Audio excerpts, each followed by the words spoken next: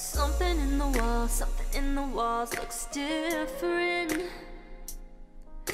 Something deep inside got me wondering why I don't understand why I can't put my finger on what the fuck is up, what's missing. You're distant, and I'm spinning. Don't ask questions usually guess that I need. Intuition telling me mm, I just had a gut feeling.